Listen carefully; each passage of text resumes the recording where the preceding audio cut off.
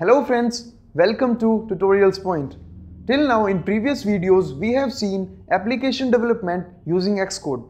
In this video we will introduce you to a new language called Swift and we will also introduce a tool called Playground. What is Swift? Swift is a language developed by Apple for application development of Apple devices like iOS, macOS, tvOS and watchOS. What is Playground?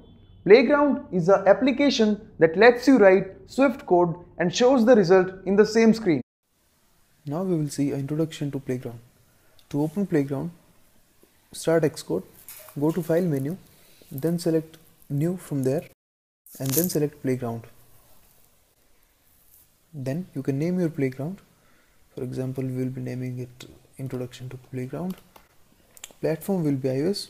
Click on Next Again you need to select the directory where you want to store your project. Click on create. This is your playground inside which you can write Swift code. For example, we'll just write a simple code.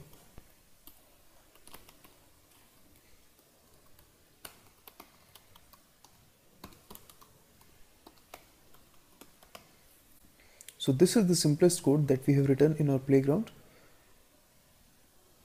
This is the area where we write our code in the right hand side you will see the values of variables that you have declared or any statements that you have given.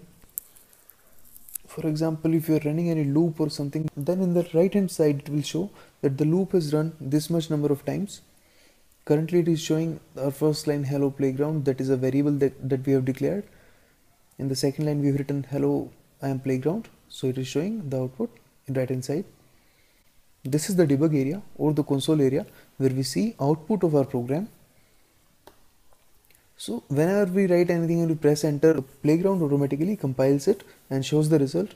But in case uh, the playground does not show the results by compiling, we can click on this button to compile to execute our code.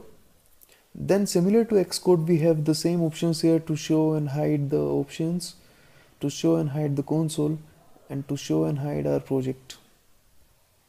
Similar to that, we have the standard editor and the assistant editor also.